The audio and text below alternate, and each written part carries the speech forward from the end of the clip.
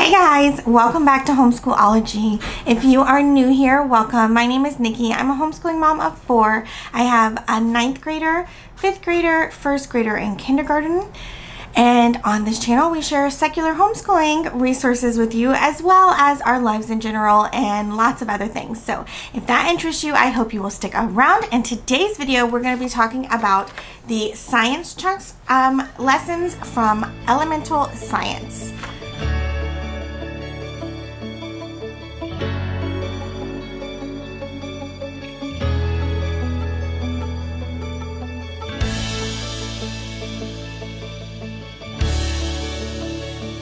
So I have done a video before of kind of like my initial looks and kind of just like a look at the program from Science Chunks. So I'll link that video for you guys here. Um, but basically, just to give you a little summary, um, Science Chunks is like literally chunks. So, you know, one, every, every unit is one kind of uh, topic and then they are different individual units, although they follow the same structure. So it's, you know, you're not having to learn something new all the time. It's the same structure, different topics, but you can pick and choose which ones you do. Um, they do have them, they do sell them as like a year bundle. Um, and you, so you can do those things in a year. I just bought all the bundles. They're relatively inexpensive. So I just bought all the bundles and then I literally let my kids choose which ones they want to do.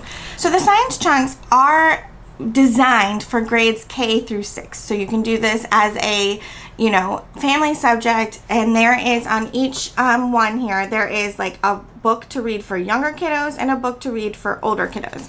Um, we obviously are using the older kiddo book. Um, I Well, not that's not obvious to you, but I'm doing this with my older two kiddos. Sometimes my little ones will come along, um, if they feel like it, mostly just for the activities. But, you know, we're going to address this stuff later again with them, so I'm not super concerned about what they pick up here. Um, but with my older two, obviously my fifth grader falls in that range of K through sixth grade, but my ninth grader does not. So how do I make this a little bit more um, meaty for her. So that's what we're going to look at today. I'm going to give you a look at like how we use this program and what I do to beef it up for my ninth grader to make it more on her level. Um, she still really enjoys like activities and things like that and I didn't want to take that away from her. Um, and so that you know this still works really well for our family but obviously she needs to go dive a little deeper into these things and I'm going to talk to you about what we do for that okay so first off here is the um, how I do it so I do have a binding machine and I usually like to bind things but um, this is so small that I just I don't really need to bind it. So what I've been doing is just putting them in these file folders um, and then I have you know, I have my instruction pages right here on top and then on the bottom of that so let me let me separate this out for you to see. So this is all my my instruction pages is. It's it's really small so it's not really worth finding. Um, and so but this is my instruction pages that I need for the lessons. And then everything else in this folder is two copies of the student pages.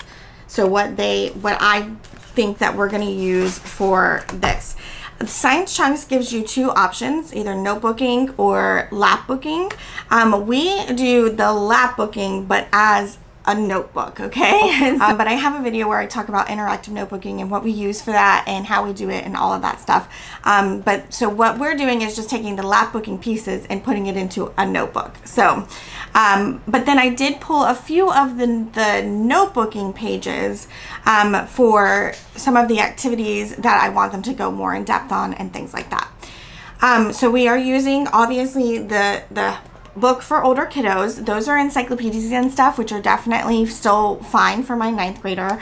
Um, and then to kind of soup it up a little bit, um, I am using either crash course videos or other videos, documentary videos, or things that I find on YouTube for my daughter.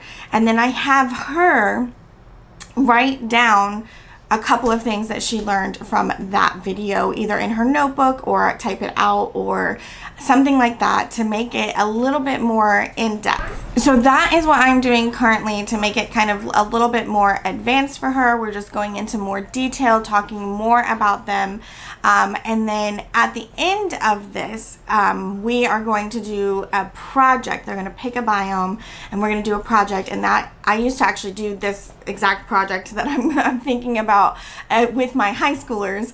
Um, and so we're going to do that project at the end of this specific unit and that's kind of how I'm going to kind of do it for the rest of the year is that like we're going to go through the unit have those videos to kind of beef it up a little bit and then at the end my oldest daughter is going to have some kind of project output that demonstrates that she's learned this information. Um, and so that is kind of how I'm taking something that's not necessarily designed for high school and making it high school. Um, now your kiddo has to enjoy things like, like, you know, my daughter still really enjoys coloring these things and cutting them and, um, she really enjoys doing this kind of stuff still okay so like that is you know, your kiddo has to still kind of be into that, and my kiddo is.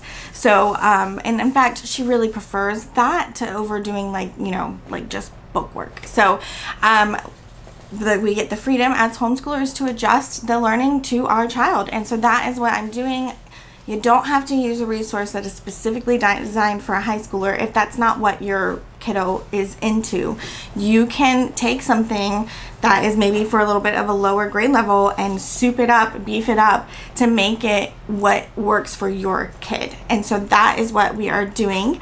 I am going to insert a little um, video of us doing a lesson here so you can kind of see what I'm talking about um, and how this is going.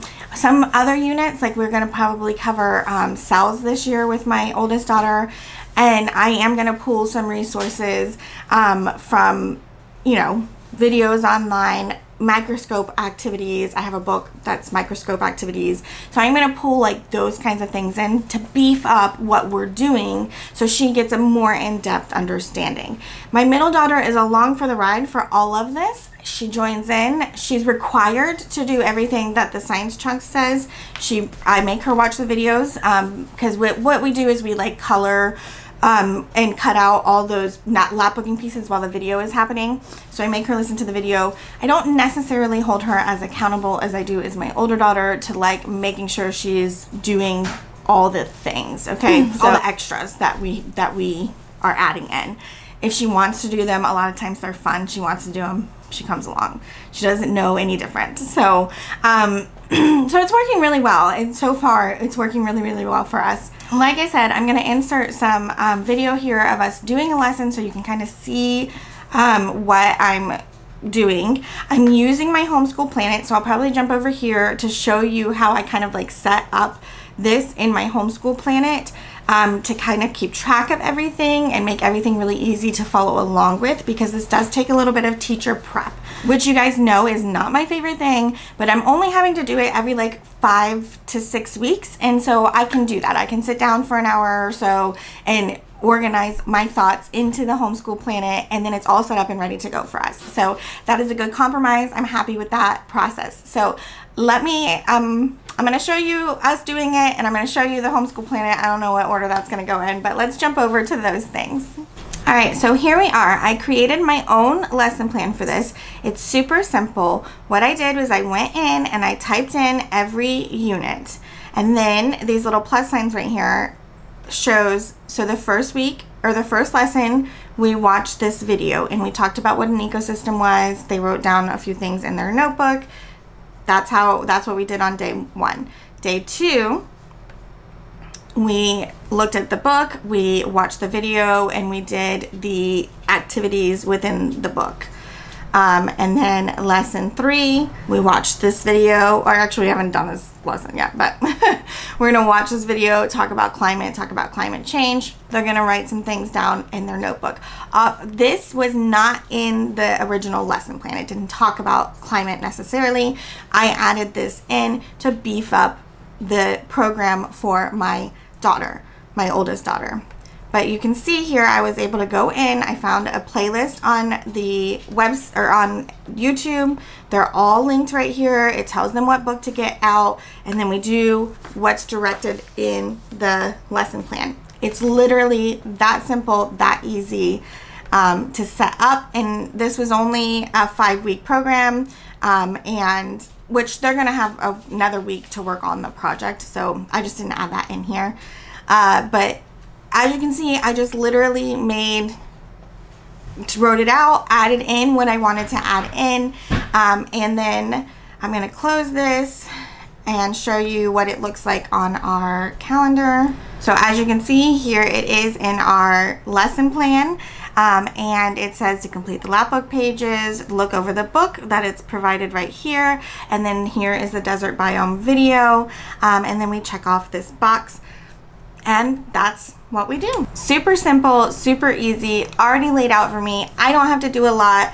I know what to do. I know what to expect. The one thing that I do have to do is like, which I didn't do it this time, but I think next time what I'm going to do is as I'm picking our activities that we're going to do, I'm going to make a list of things that I need and just go ahead and get all the things so that they're here and ready.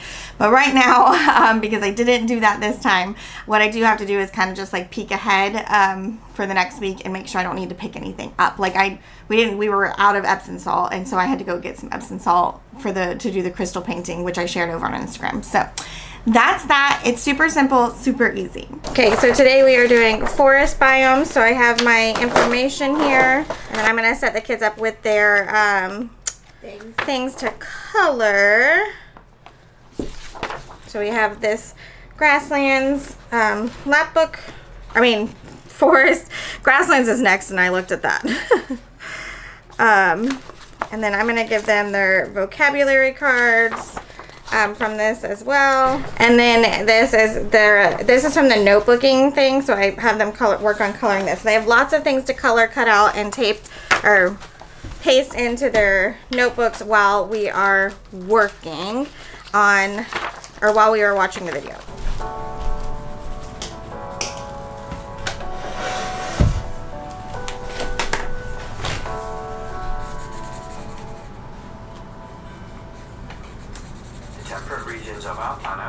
Planet covered in forest. An endless swathe of trees of many different species stretching across North America, Europe and Asia.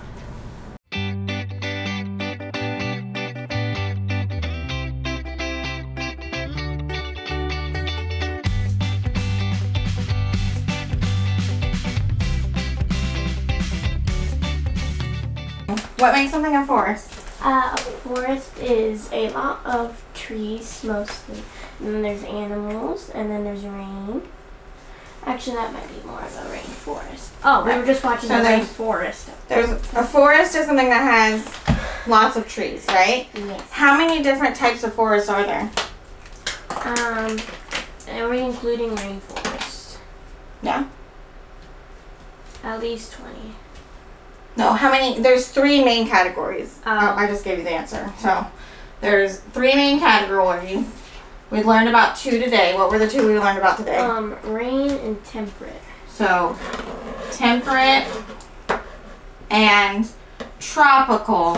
Oh, is that what? Which includes rain? rain. It's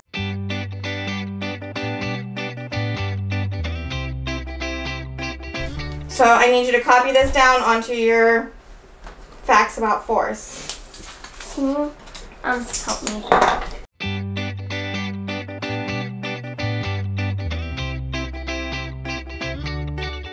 So I wanted to show you inside. This is the five-star Mead, or the Mead five-star um, interactive notebooks. That's what we use for interactive notebooking. It has this fancy little pocket for the things she's not finished with yet. Table of contents, which she hasn't started filling out. But this is what it looks like inside of our thing. So it's just the lapbooking pieces, but we just are putting it in a notebook so it's all in one place. Um, and yeah, that's what it will look like.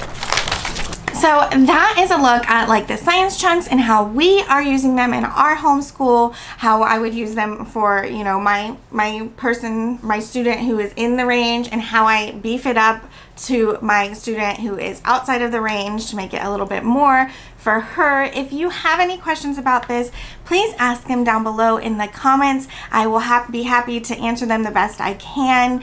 Um, and while you're down there, I would love it if you would subscribe to this channel, ring that notification bell, and give this video a thumbs up. Don't forget, you can always follow us over on Instagram at Homeschoolology. I've already shared something there about us using this program, um, and I love to chat with you guys either over there or down in the comments here.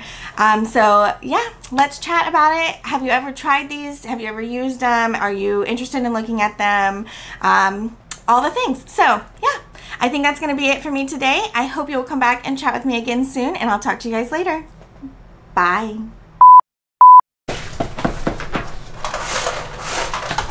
Look at this.